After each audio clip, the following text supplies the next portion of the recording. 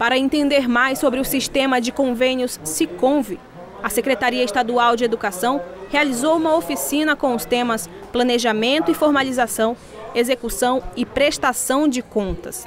A intenção é fazer com que os servidores da secretaria se capacitem e se atualizem no que diz respeito à parte burocrática da elaboração de projetos para contratos públicos, para proporcionar agilidade aos procedimentos.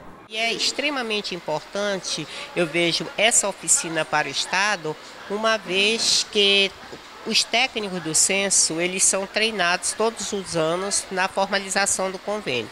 E sentindo a necessidade de que todos os técnicos da secretaria conhecessem o sistema Siconve e o sistema de contratação pública, da licitação, a elaboração do termo de referência, nós solicitamos à coordenadora nacional do censo que autorizasse a vinda dessa oficina para o Estado. A Controladoria Geral do Estado é quem fiscaliza os recursos que são aplicados nos diversos setores do Estado.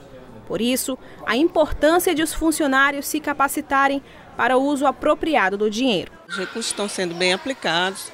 Para isso, é essa capacitação justamente é para que essas pequenas falhas que tem do processo, a gente possa, agora com a capacitação, orientar todos os servidores da área para que seja bem executado o recurso.